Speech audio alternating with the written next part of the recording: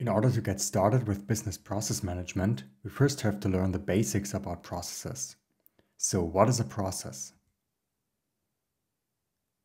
A process is a set or a series of activities that transforms input into output. In this example right here, we have some generic activities symbolized by tooth gears. As soon as the input is provided, they are executed.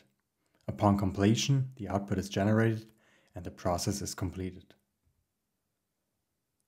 In order for a process to generate output, we always need some sort of input. Input can be information like requirements, goals, plans, or any other immaterial goods.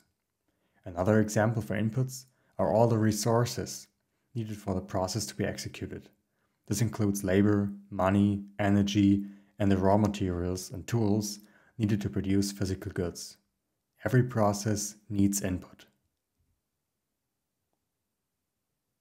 As we have seen before, this input is then processed by a set or a series of activities. With activities, we mean all the actions necessary to transform the input into output. An activity is a step within a process that is either executed by a human or a machine. Just think of it as something that needs to be done. In this example, the activities are symbolized by a pickaxe, a thinking person, and a tooth gear. When all the activities are executed and finished successfully, our input has been transformed into output.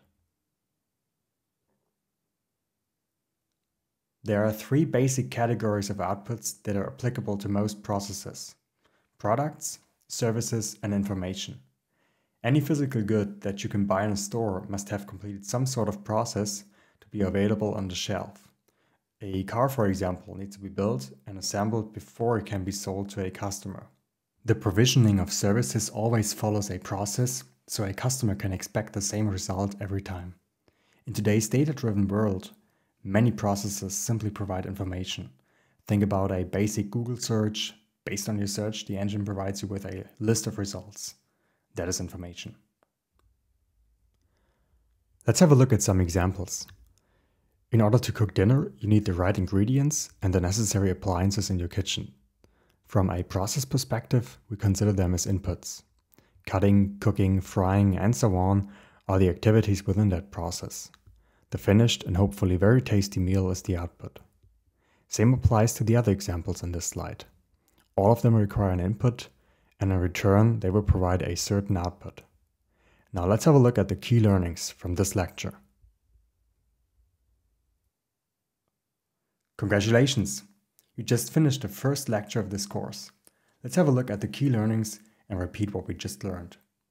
Inputs are the resources invested in accomplishing a task and typically include time, money, and effort.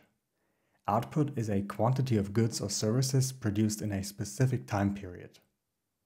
A process, and this is the key learning of this lecture, is a set or a series of activities that transform input into output. Last but not least, processes are supposed to deliver the same result given the same input.